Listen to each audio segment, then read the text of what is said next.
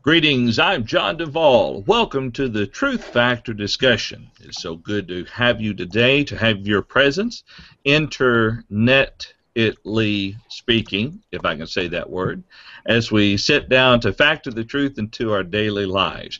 Gentlemen, see if you can do a little bit better on your introductions. How are y'all doing today? Daniel, let's start with you. I'm doing fantastic, brother. Glad you're doing well, and and we hope everyone this morning or this afternoon is doing well. Uh, maybe even some this evening. I'm not sure. Uh, but we we're glad you joined us, and I encourage you to do one thing. I encourage you to, to grab a Bible, whether it be electronically or, or hard copy, and follow along with us. We'll be in 1 Corinthians chapter 3 in today's study, and we just hope that you'll compare what we say with God's Word because we certainly are not the authority, but God is. Uh, how are you doing today, Paul? Doing great and glad to be with you. Glad we can study together for a little while and look forward to opening up to this book of 1 Corinthians. We see there that there were Christians that had lots of problems that they were dealing with, but if they would turn to the Word of God and just submit to that, that they could be right before God.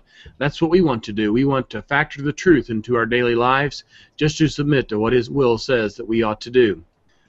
Good morning, Tom. Good morning, Paul, Daniel, John, and everybody in our listening audience. Uh, again, it is an honor to, to to be able to share with you a portion of God's Word, and I'm uh, excited about this part of the week every week. Uh, you know, we, we see on, on television there's been that commercial uh, about the camel walking around saying hump day. you know, um, well, this is a good way to start the middle of the week. So. so so begin begin the day and this is true in, on this on the west coast begin the day with a bible study and then end the day with a bible study sounds good and i like that and that's what we are doing here today well, last week in our study, we um, reached, uh, we studied up through First Corinthians chapter 3, right about verse 9. And so we were in the middle of this section here when we had to stop our study last week. So what we're going to do here in just a moment is resume our discussion there with verse 10, with verse 10. But before we do that, what I'd like to do is take a moment and we'll back up to verse 5. And let's read verses 5 through 9 just to kind of remind us of the context um, that of this particular section of 1 Corinthians chapter 3. Paul, would you like to read uh, verses 5 through 9 for us? I'd be very happy to do that, uh, John. We'll be reading in 1 Corinthians 3, verses 5 through 9. Who then is Paul, and who is Apollos? but ministers through whom you believed, as the Lord gave to each one. I planted, Apollos watered, but God gave the increase. So then, neither he who plants is anything, nor he who waters, but God who gives the increase. Now he who plants and he who waters are one, and each one will receive his own reward according to his own labor. For we are God's fellow workers, you are God's field, you are God's building. Thank you, Paul. Now, probably what I should have done is have us go up a little bit farther there, but within this context here, Paul had made the point in verse 5 that there were some individuals who were saying, I am of Paul and I am of Apollos. And we talked some about this when we looked at chapter 1. But the point that Paul seems to be making in verses 5 through 9 and even following is that fundamentally he is nothing and Apollos is nothing. The one that we are to focus on is, of course, God. Apollos, you know, Paul says, I planted, Apollos watered. But it's our God that gives the increase there. And so, as in verse 7, so then neither he who plants is anything, nor he who waters, but God who gives the increase. You know, there is no room in the kingdom for big headed preachers, there's no room in the kingdom for arrogant Bible class teachers. In the end, we are all simply servants of God. We think about what Jesus said in Luke chapter uh, chapter 17, verse 10, I believe it is. After we've done all that we've been commanded to do, we still declare ourselves unprofitable servants. And Paul was making this point to try to get the members to understand that they don't need to focus on the teacher. Uh, they don't need to focus on the one who baptized them, but it's on God. Um, it reminds me of uh, the statement that Jesus says, uh, you know, call no man rabbi or call no man teacher, for there's only one teacher. And and the point is is that no one person is so special that they should be elevated above all other Christians. Um, that we are all in the end equal servants of God, and and that's kind of the point that he's making here. Right. Uh, any thoughts right. on that?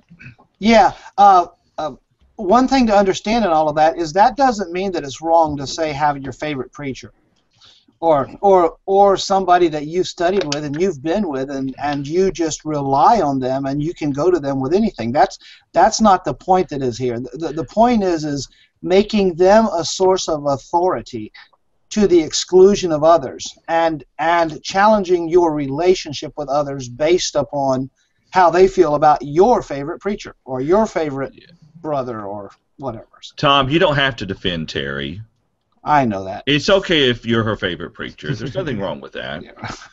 Uh, first thought was so said the preacher. Oh. Let's see, bite my tongue here. you know, there have been uh, right, what though. Tom points out, though, uh, that there has been that kind of problem yeah. oh, among brethren in the past. Uh, I made the mistake of saying something that I disagreed with. Uh, a very well-known preacher of that day, who's no longer with us, uh, but that I, I disagreed with him. I thought he was wrong on something, and wow, you think he's wrong? You know, who do you think you are?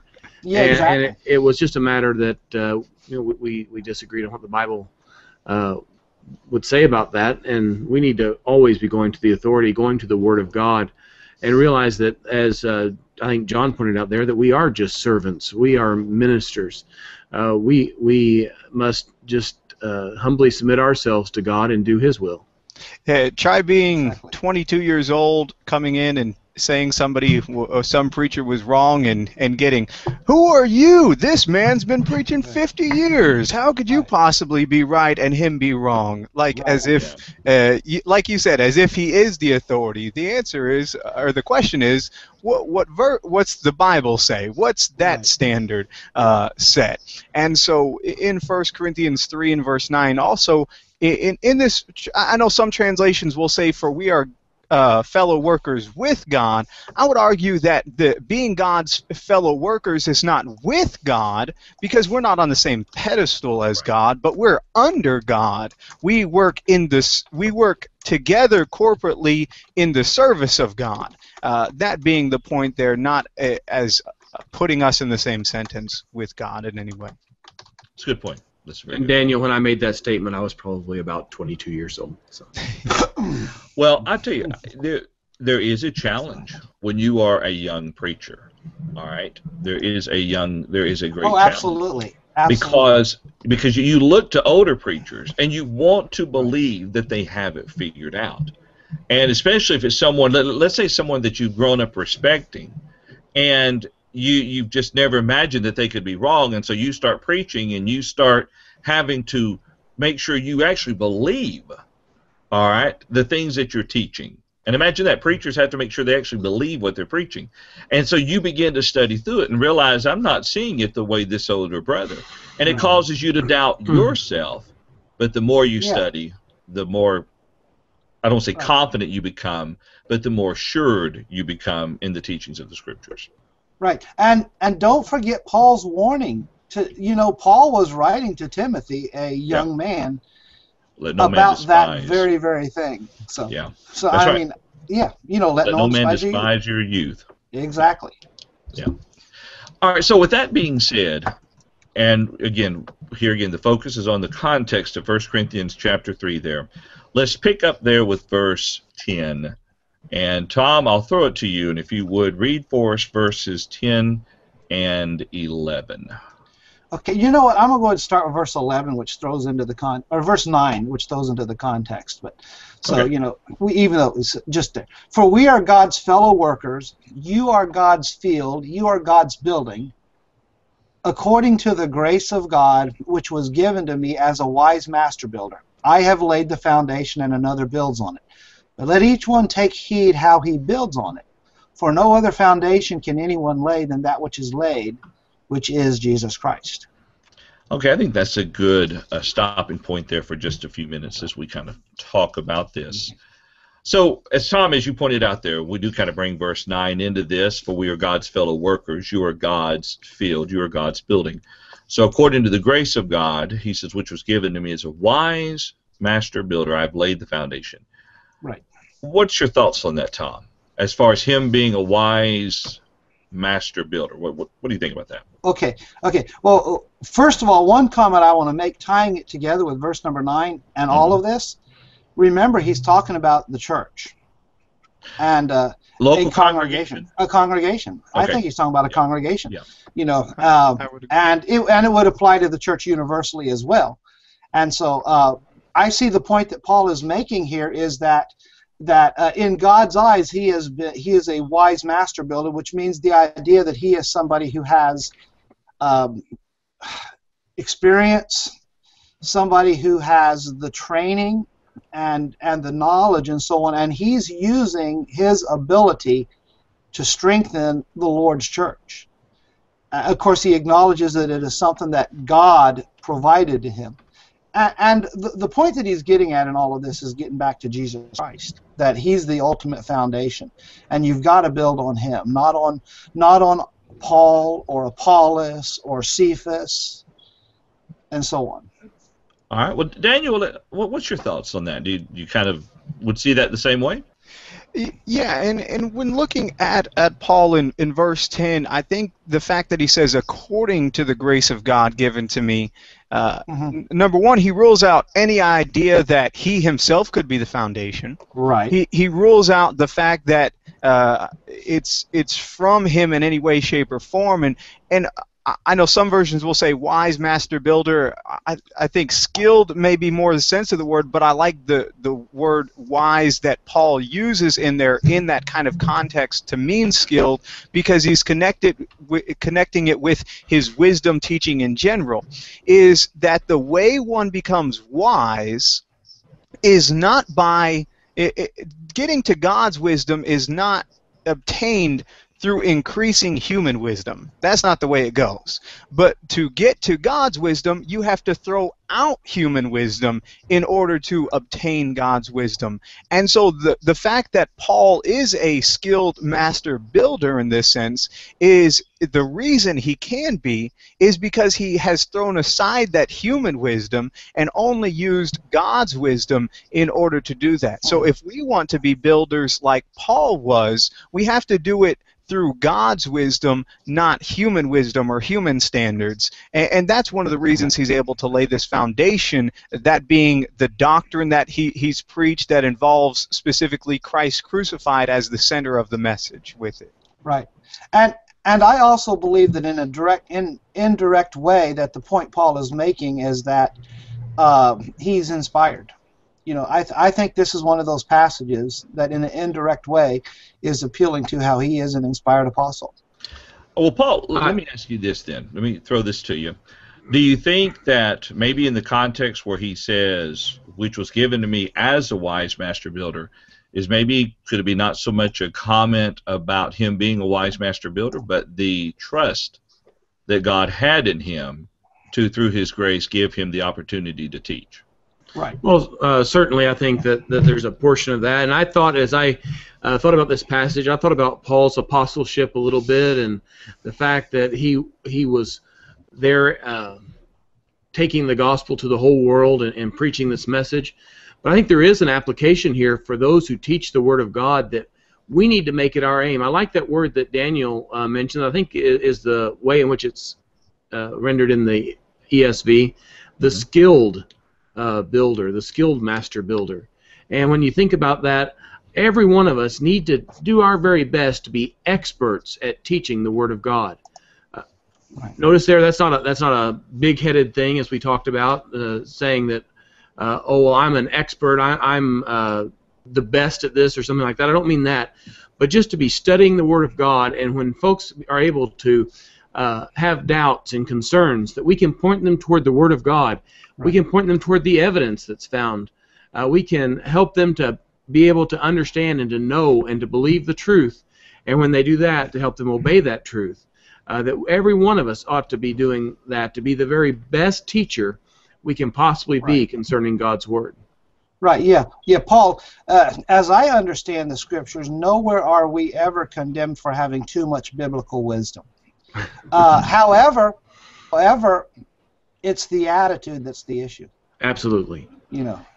Well, let's let's take a minute and step over uh, to the chat room because we've got a couple of things, uh, comments there that have come up within that, and we'll bring them into the study here.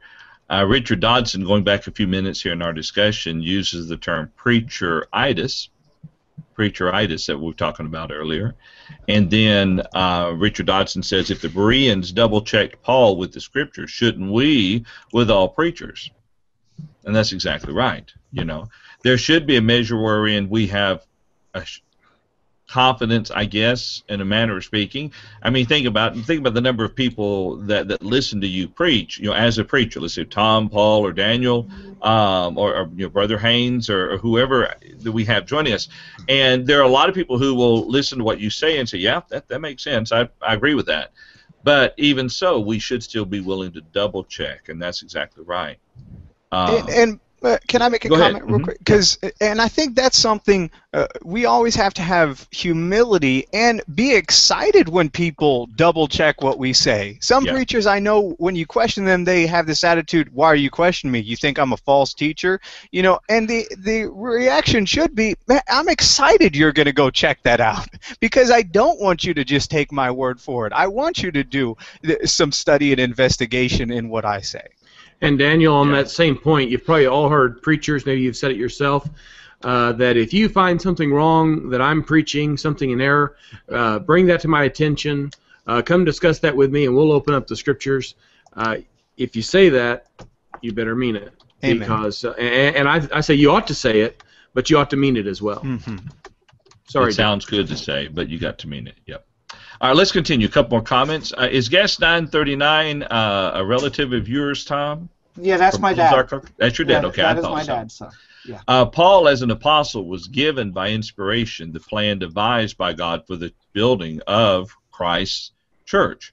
Uh, whether it be the, the universal church, as we understand, the body of Christ, or the individual congregations, the establishment of those.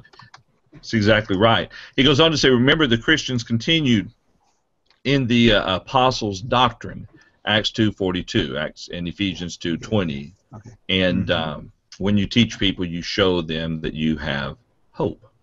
So it's a very good point. Very good point, Richard Dodson says. Amen to those comments. Yeah, most definitely. All right, well, let's continue here with what we're looking at then. Um, he makes the point there. Um, oh, uh, one other thing. Not to push the Lego movie, but who saw the Lego movie? Okay. yeah, I Um, just did. and, and, Last and the interesting, an interesting point that was made about the Lego Movie that, and uh, the reason I say this because we use the term wise master builder.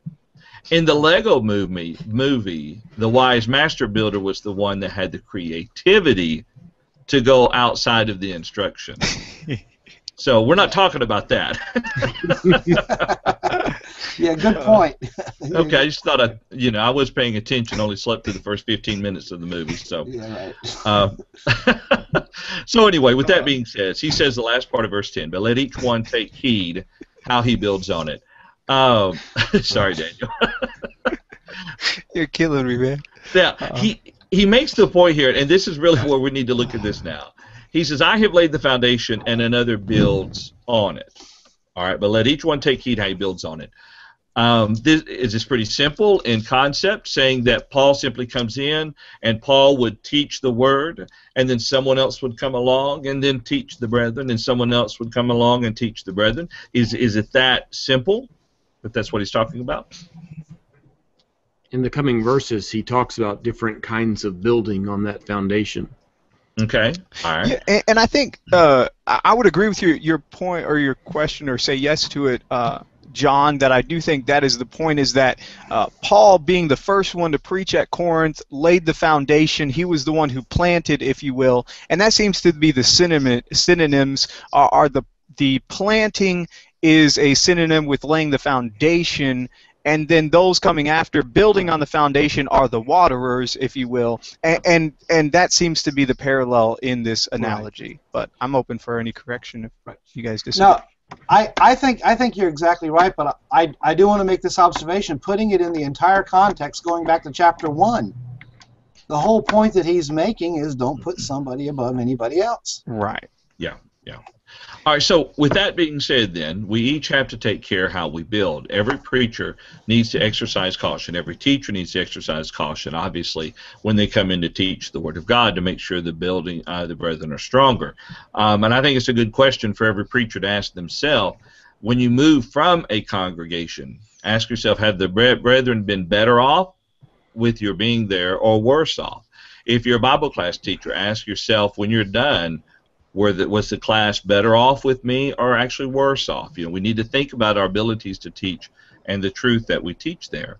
And, um, and did you truly preach because you thought that would be in their best interest, not necessarily because that was your favorite subject for the day or something you wanted well, to, to, cover. So. I like this place. I don't want to move from this place. And if you want to change your preachers, you need to find some other place to go. Mm-hmm. Yeah, yeah, you're right. Is it really better for the congregation? Um, right. So then, with that being said, then verse 11, he makes the point that no other foundation can anyone lay than that which was laid, which is Jesus, laid, which was Jesus Christ. In other words, while a preacher may move to an area and spend a year teaching the Word of God to the lost and ultimately establish a local congregation, he's in the end done only what he was supposed to have done as a servant because Jesus himself has actually laid that foundation. Mm-hmm. Any thoughts? Uh, Jimmy the K uh, references Romans 15:20, and, and that's actually a, a cross reference that I have for in, in just a second. But uh, I think it'd be helpful if we uh, did go there. Yeah, I'll, um, I'll, bring. Let me let's see. I got the chat room up. Let me bring the Bible program up real quick, and we'll get okay. there. Romans 15:20. Yes, sir. Uh, okay, I had it. Sorry. Go ahead. All right. And it says, And thus I make it my ambition to preach the gospel, not where Christ has already been named, lest I build on someone else's foundation. And, and just the point is relating this same analogy that Paul was trying to go where there wasn't a foundation, i.e., where the gospel hadn't been preached in places for the fir- first time, uh, and and that seems to be his his ambition there in Romans chapter 15, yeah. but he uses the same analogy, and I like that reference. Exactly. That's a good cross reference to that. All right. Now, Paul, you brought up something just a moment ago that I, I think we're, we're getting into, unless there's any other comments before we hit verse 12. None? Okay.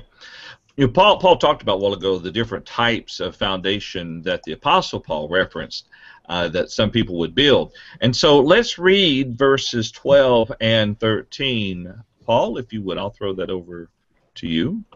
Be happy to do that. It says, Now if anyone builds on this foundation with gold, silver, precious stones, wood, hay, straw, each one's work will become clear, for the day will declare it, because it will be revealed by fire, and the fire will test each one's work of what sort it is. Alrighty, and I realize that the context continues there, but we're going to stop for just a moment, kind of focus on these two verses here.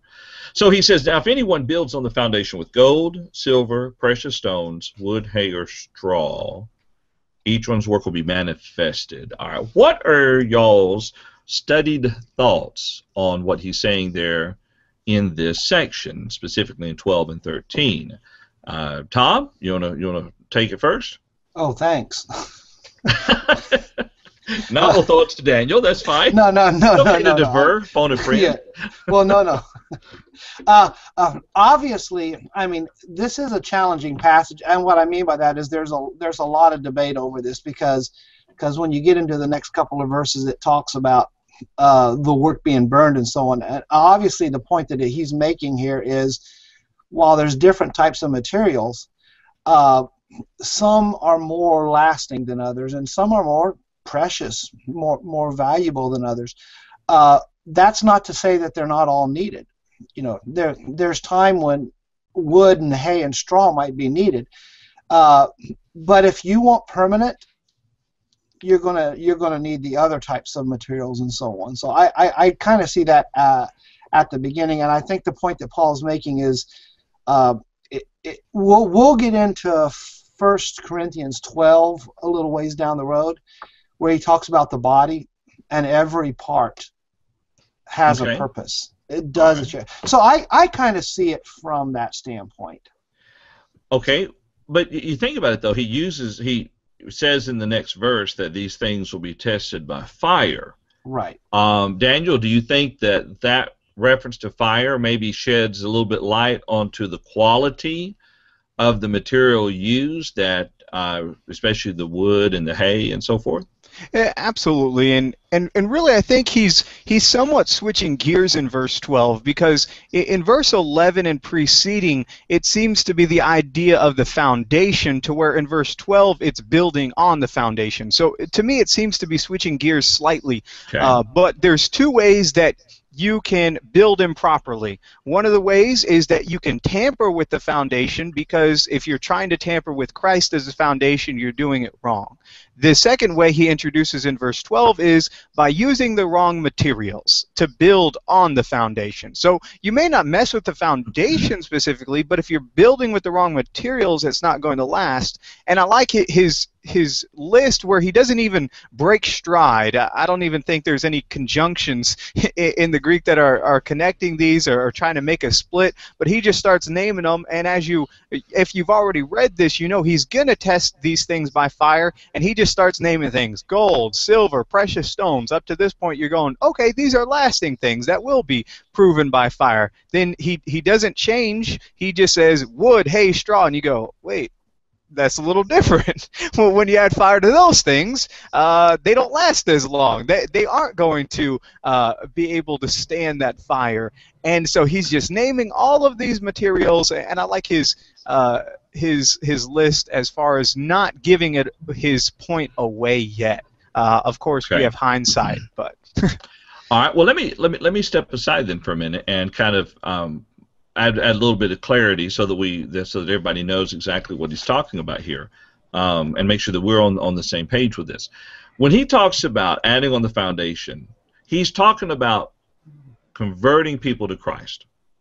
So the the, the, the, the building upon the foundation is that is he talking about adding people, converting people to Christ, making converts? Would that be a something that, that we would be agreed upon? I, I think it not necessarily restricted to that, just teaching in general after Paul. Uh, and I would compare it with the synonym uh, to watering. Um, watering a plant that exists does not always necessarily mean in, in the conversion process, but uh, can just mean preaching in general, if that makes sense. But- Well, it, it does, but what what I, what I, what I'm looking back to is now if anyone builds on the foundation, and and I, I here's here's where I'm going with this, and and I'll make sure that um that I, I'm clear on this because I I'm- might not be clear even while in my own head. All right, there are certain things that we are responsible for. We're responsible for the way that we teach, the method in which we teach, and the the content of what we teach. Okay. And if we're all teaching the truth and we're teaching the truth with love, for all intents and purposes, the quality of that material should be the same. Okay. But the result of our teaching is not always the same. You think about the parable of the sower. There are going to be some who will obey the gospel, and two days later, they're, they're gone hiking somewhere else. You've got some who will become Christians, but they never do anything. They're apathetic. Then you've got some who are filled with fervor and zeal, and, and they, they bear bear fruit. My, my question is, because when we look at the, the rest of this text, we know that we're not accountable okay, Right. for whether or not what we have laid upon the foundation survives. So that's what makes me wonder if maybe he is talking about um, our responsibility is to teach. Now, what happens to those individuals who obey the gospel or don't, that's not what we're going to have to give an account for. Could that be Right. the, the, the materials there that he's talking about? Right. no, I, I Uh, agree with your later implications. Yes. Yeah. Uh, Okay. In the chat room, Okay, my dad makes some of the observation. I think it kind of goes along what you said there. So. Uh, hang, hang on just a minute here. Yeah. So- Okay, let me get that ready. Now, let me make a suggestion here, y'all. Paul Paul had to step away, so he auto switching is going to be in place. So that means let whoever's talking, everyone else keeps quiet, so it doesn't jump back and forth on the screen screen there. um, now, with that being said, and I didn't tell y'all to do this so you'd be quiet while I'm talking. Um, where do you want to begin, Tom, in reading from the chat room? Well, uh, I th- I think we've we've got up through Jimmy the K with the First Corinthians three ten. Did he? Yeah, because uh, yeah, he was talking about his previous the conversation. He was talking about the Romans fifteen twenty. alrighty. Oh, then with let- my guest nine thirty nine, which is which is my dad. Okay, let me bring that up here just a second. All right, now Okay. it's the camera's going to be on you, so go ahead. It's it's not going to it's not going to show this on on the screen. Okay, and, and so my dad makes the point those who build on the foundation use the material available. Unbeknown to the builder, he may not know the quality of the material. That is why Paul says, Take heed how you build. And then he makes he says sometimes the quality of the material will be known only after it is tested. Uh, and so he says you test it by fire. So So it's, it's kind of the, the the same thought there. right, yeah, same thought, the observation you were making. Okay, all right, yeah. Um, So- Daniel, any thoughts?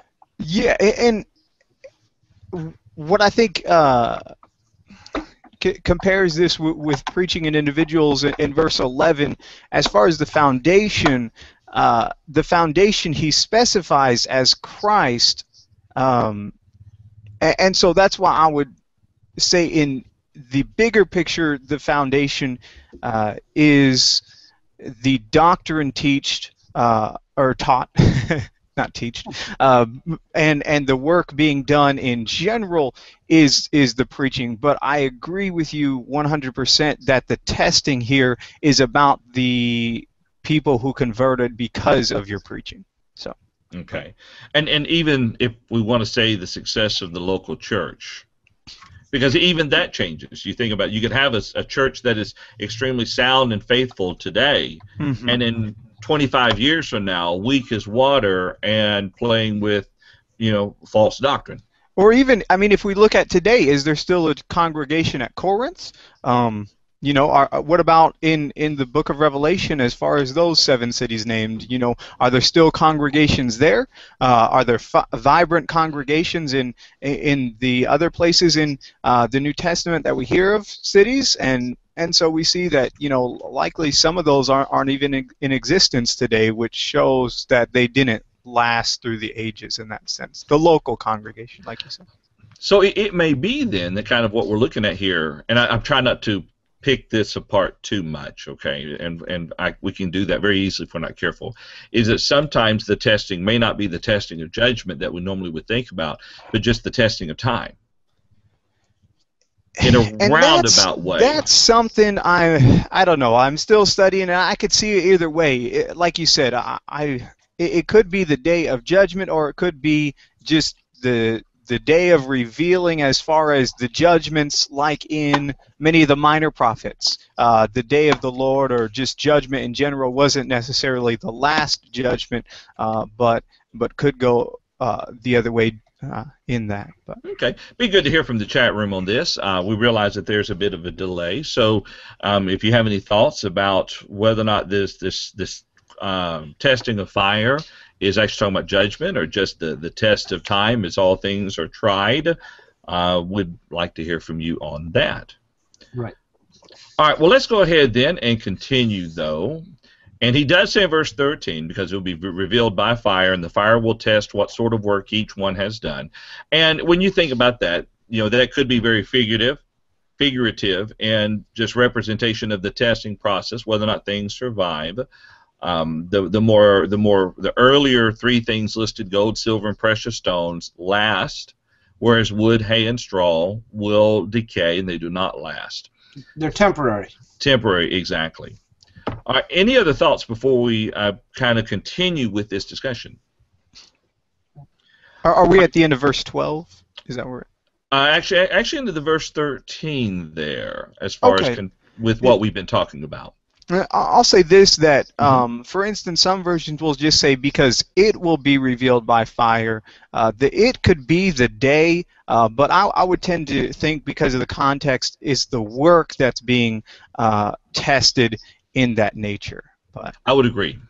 that that seems to fit the context. I, I know it, it. The the people that I, I, I talked to or, or read who would take the day, just take that because it seems repetitive, but I, I don't believe that to be a very good argument because Paul often repeats himself and emphasizes something. But uh, I Right. think work fits the context better. Right. Well, well, well. I mean, as you read the second half of the verse, there he says, "It will be revealed by fire, and the fire will test each one's work of what sort it is."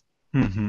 So Yes. th- you've got you've got the it used a second time there, and it is definitely deal, dealing with the work. So Yeah. what's where's the repetition? Yeah. So you know, so So that's right. That's that's a very Yeah. good point. Yeah. So with that, Daniel, let's go ahead and read for us now verses 14 and 15, please. Okay. It says, If the work that anyone has built on the foundation survives, he will receive a reward. If anyone's work is burned up, he will suffer loss, though he himself will be saved, but only as through fire.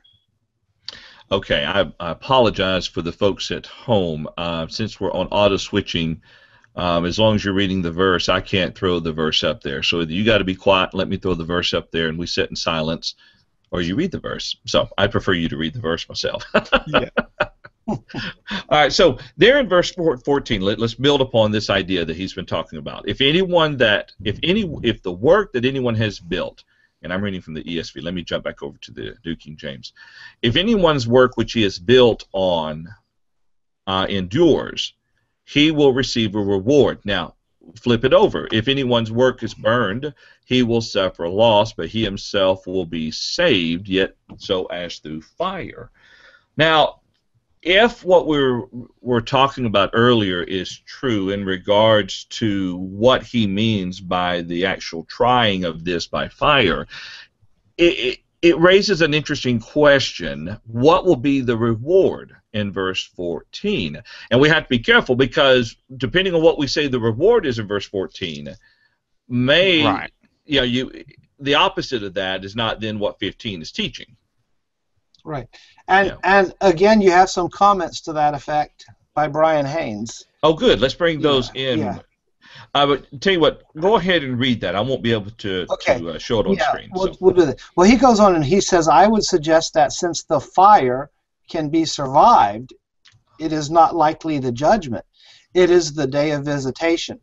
Uh, 1 Peter 2.12, Luke 19.44. And he, he talks about there's a parallel would be Peter's fiery trial that he goes through. Or he mentions, do not think it strange Oh, concerning the fiery trial which is to try you. So. Okay.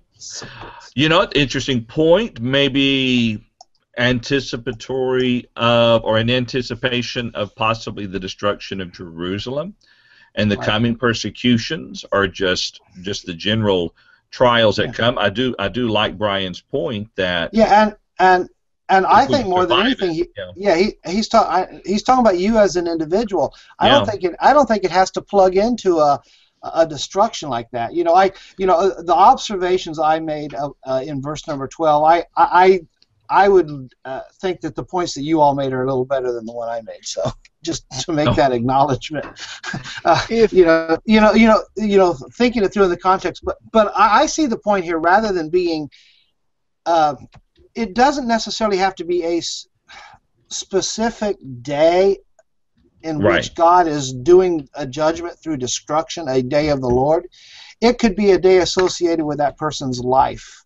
Yep. You know, I mean, be- I- I- and again, when you think about it, if if if the works are burned and so on, uh, that would tend to lead towards somebody wandering away or whatever you built with not accomplishing that which you hoped that it would accomplish.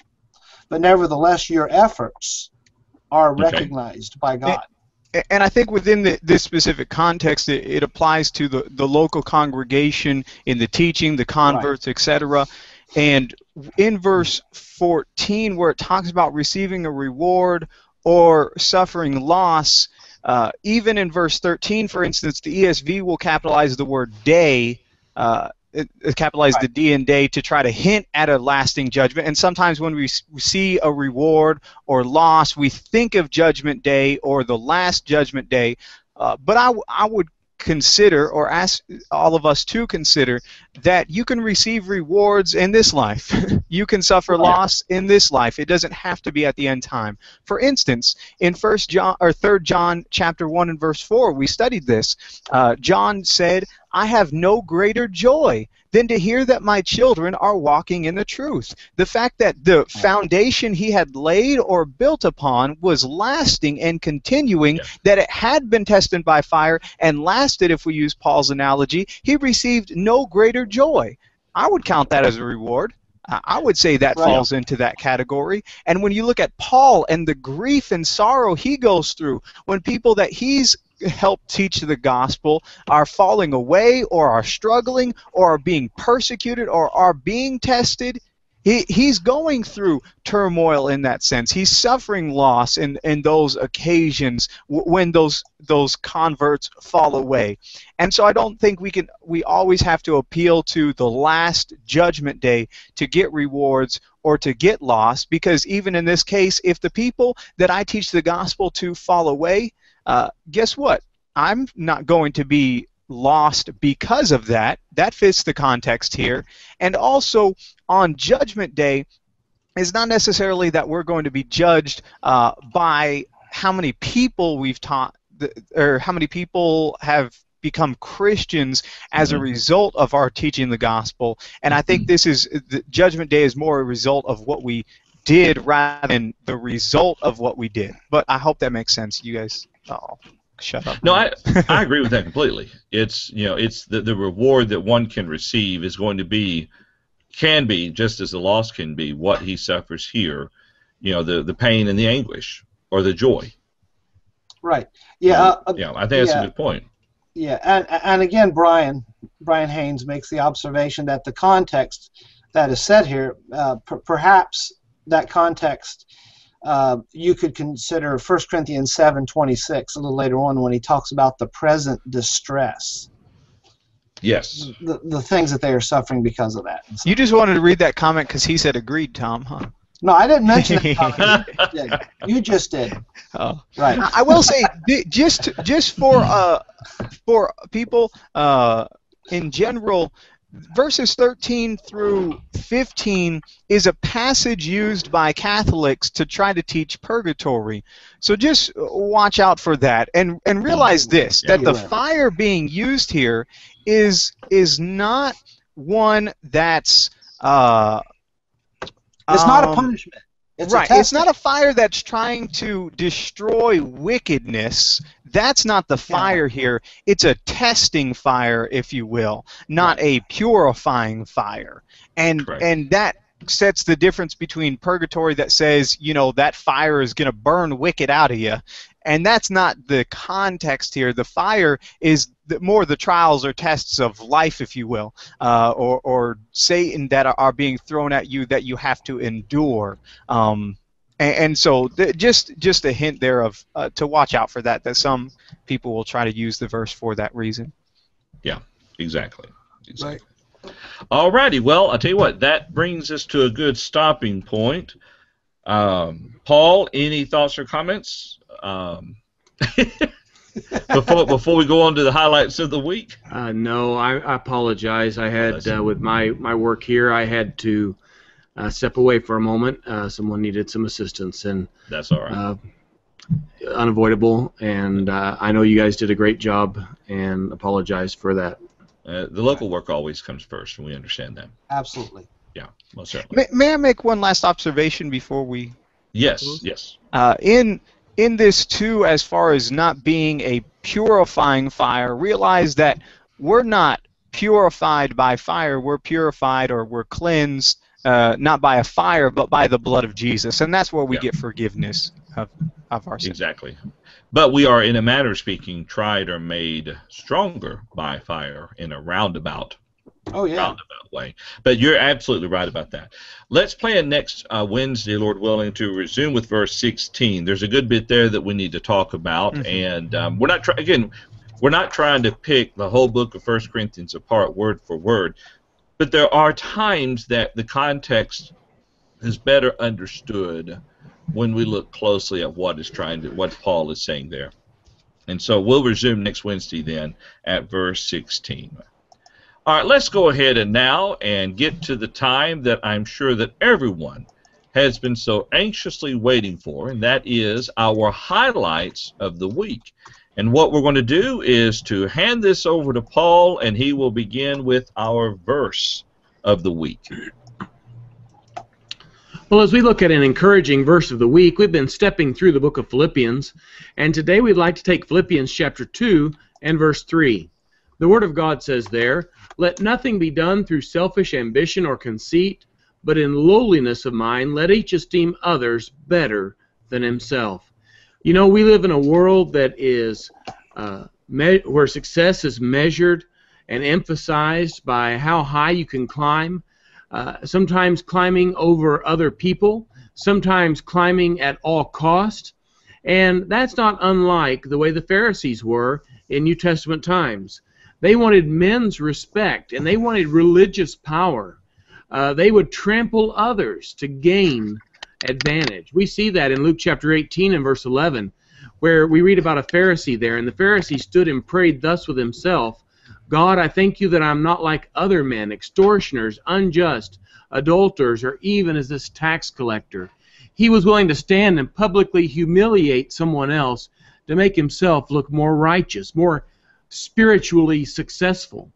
And here we have in the book of Philippians some instructions that our lives are not about selfish ambition.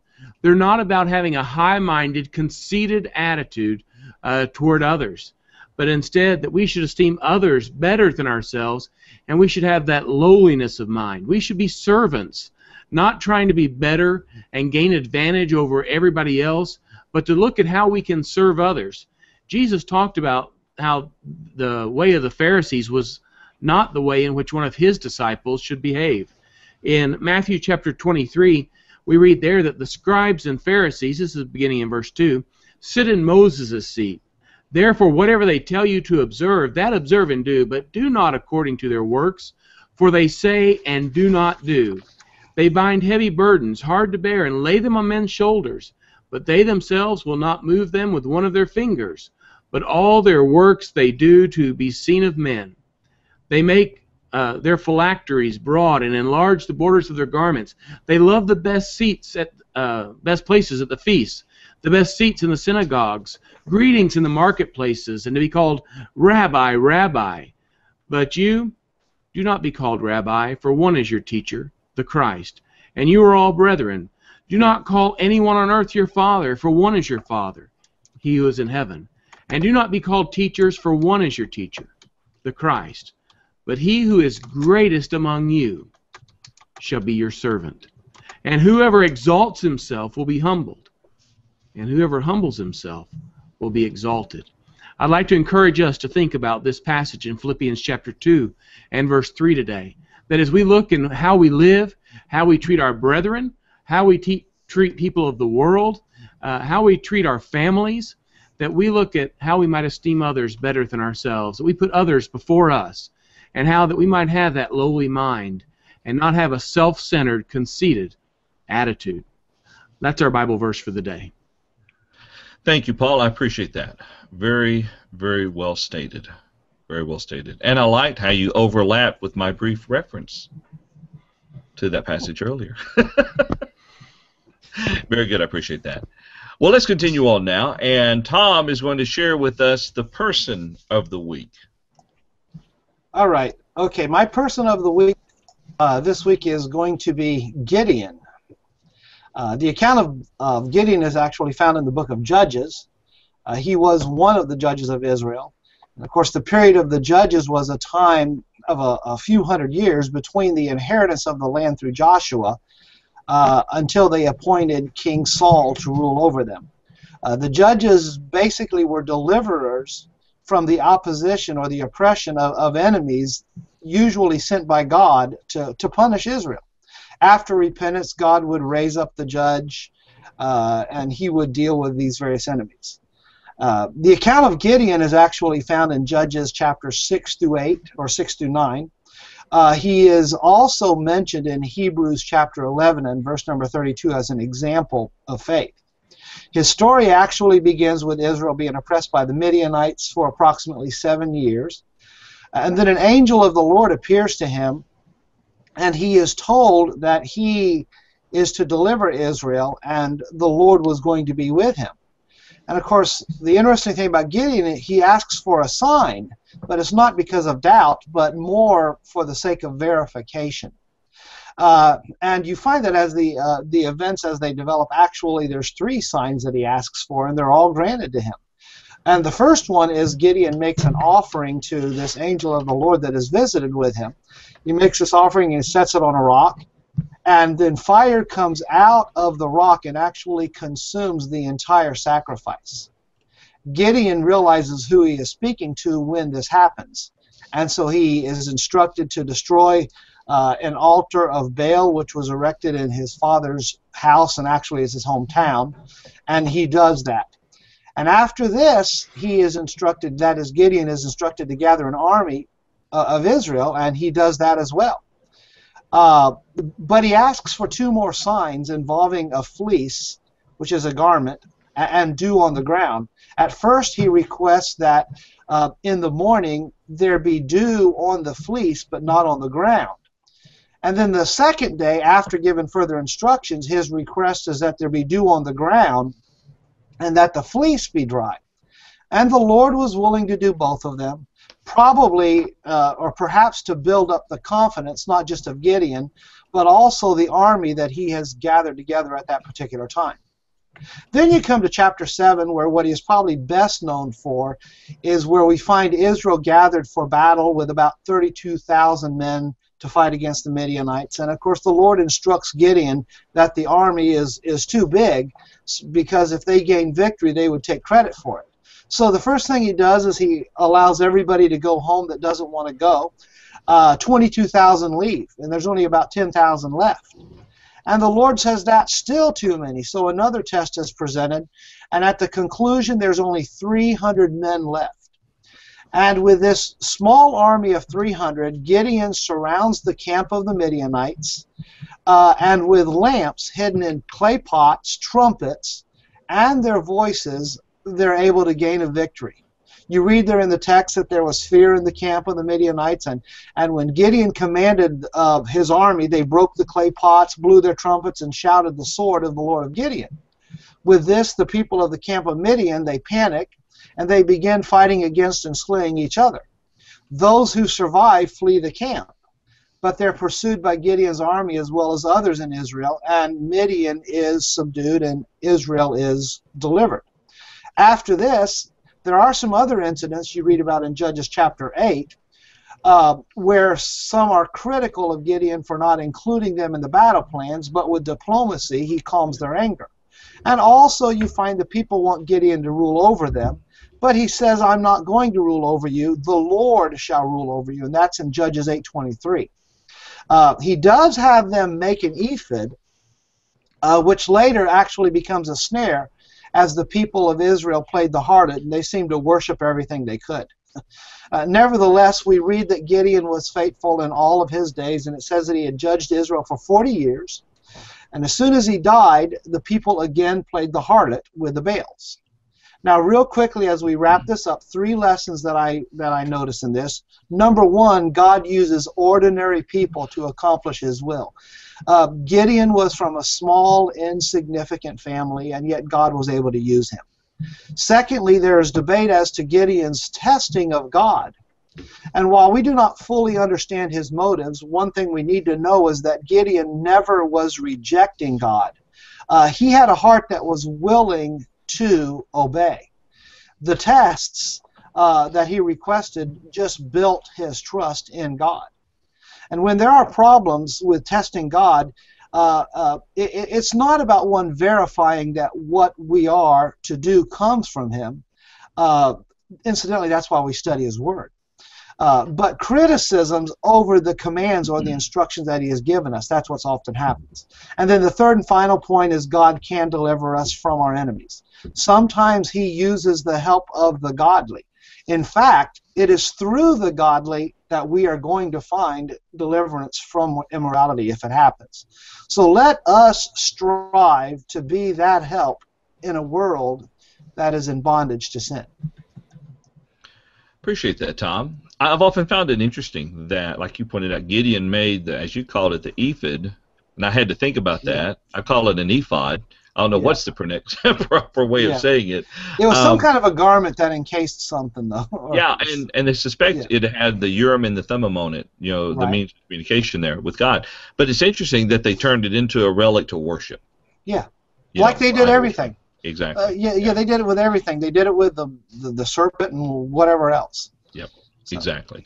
Alrighty. Well, Tom, I appreciate that. And now let's move on to the place of the week. Let's look at the place of the week. And I decided with this one that what I would like to do is go to a source of great authority on this location. The location we're going to be talking about is the Garden of Eden. The Garden of Eden. It was a location, a garden, as the Bible says, planted, of course, by God, an, an area set up for man to live in, and then the woman to live in as well. And uh, you know, we we make the assumption that they would have continued to lived in the garden had they never sinned and been cast out of the garden. But people have often wondered where the Garden of Eden actually was. Well, I'll tell you what, I know exactly where the Garden of Eden was, exactly to, to the very location of it. There were four rivers the Bible talks about. The first of it was first river was named Pishon. All right. The second river was Gihon. The third river was Hiddekel, and the fourth river was Euphrates rivers. Now, that's exactly where the Garden of Eden was. If you could find where those four rivers were and know exactly which rivers they were talking about, because this was pre-flood, pre-flood, then you would have a reasonable idea of where the Garden of Eden was. So let me bring up the handy-dandy map share for just a moment. And you'll notice here what some suggest. And keep in mind, we have to be very careful with this. This is uh, the um, Euphrates River right there where my mouse is moving. And I'll move in, zoom in a little bit there. And you've got the Tigris River right over here. Some people say that there are fossilized uh, riverbeds that flow from here and here and try to put the Garden of Eden somewhere in this location. Maybe it was. Maybe the, the flow of rivers changed not a lot uh, during the course of the flood. But in the end, what we learned about the Garden of Eden is something extremely simple. It was a good place prepared by God for man and his wife. Unfortunately, because of their sin, they were driven out of this garden. And I would almost suggest that we look as the garden, look at the garden, not so much as a physical place, which it was, and not be overly concerned with where it was on the earth, but look at it representative of the fellowship with God. Because when God, when Adam and Eve sinned, they were cast forth from his fellowship. And then if you jump over to Romans chapter 5 and you study beginning of verse 12 and following, you begin to see that because man sinned, that separation, that spiritual death, uh, was uh, fell upon man, and they were therefore then separated from God. Now, when we become Christians, when a person becomes a Christian and enters into fellowship with God, in a figurative speaking, if you'll allow this, they enter back into the garden. Kind of think about that for a moment. Figuratively Right. speaking, we're in fellowship with God. And as long as we remain in fellowship with God, then we will be able to partake, in a figurative speak, speak, way of speaking, of that tree of life, which Revelation tells us is in heaven. And I don't think it's a literal tree of life myself, but it's the fact that we partake of the fellowship with God, and therefore will continue to live forever in that fellowship as long as we don't um, depart from that fellowship through sin. You know, it's some, a different way of looking there at the Garden of Eden. Oh, oh, absolutely. You know, I uh, you sometimes hear the expression uh, the Garden of Eden was paradise lost, and then when we're with God, you've got paradise regained.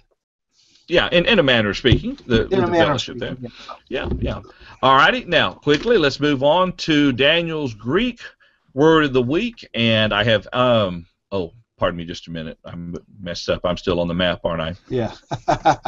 All right, now we're on the Greek word of the week, and the- um, Go ahead. we asked Daniel if he would to go ahead and share with us the Greek word that he shared last week, because we were off air during most of his discussion. Today's Greek word of the week will again be chara. And this is uh, what we translate in our Bibles as joy.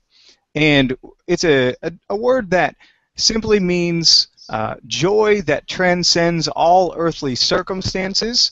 It's not a feeling, it's a state of being uh, that is much different than what the world thinks of as joy and I'll, I'll, try not to cover what I did get on air last week, uh, but try to provide some uh, fresh material on this word.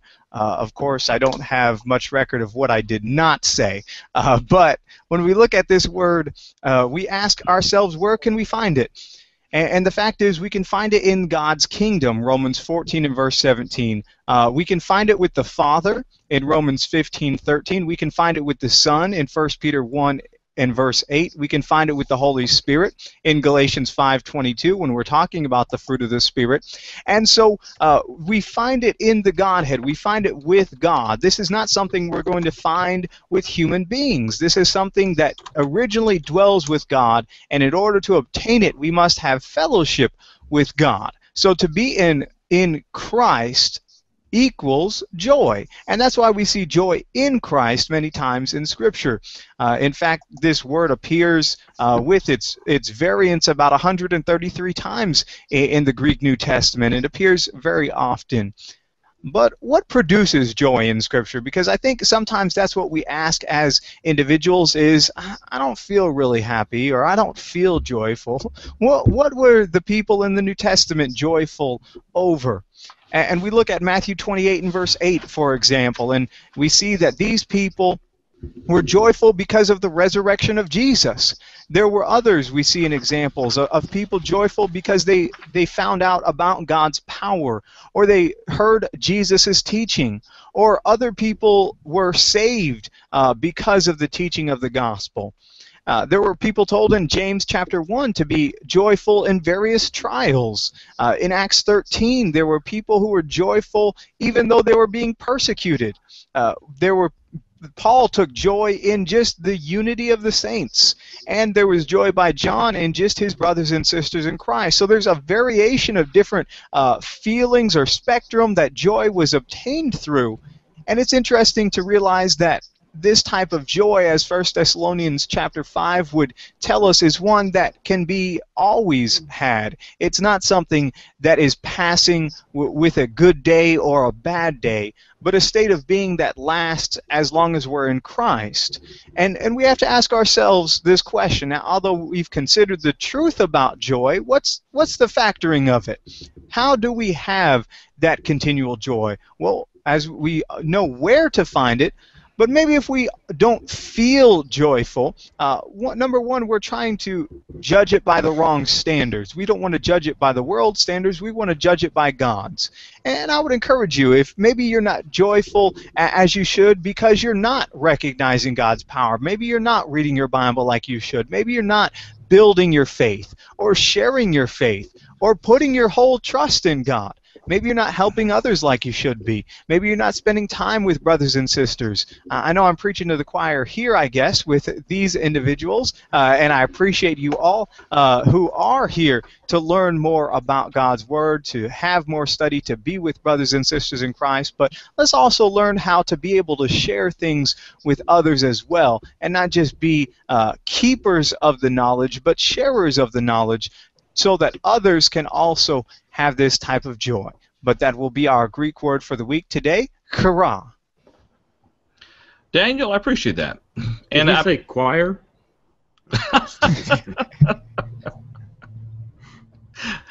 I appreciate that, and and I'm glad that you covered it again because it is a very important word, and I think necessary for us to keep in mind and remember.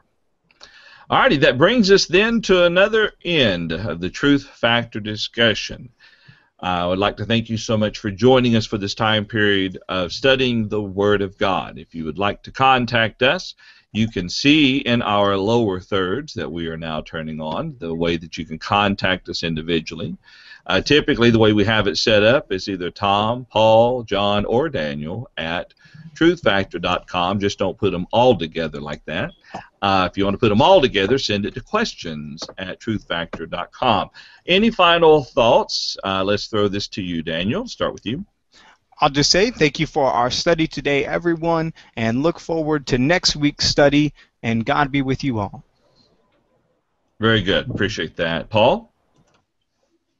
Just keep factoring the truth, studying, understanding, knowing, and applying. Yeah. And Tom? Yes. Yeah. Same thing, ditto. Thanks everyone for your participation in the chat room, and uh, looking forward to next week. Absolutely. Absolutely.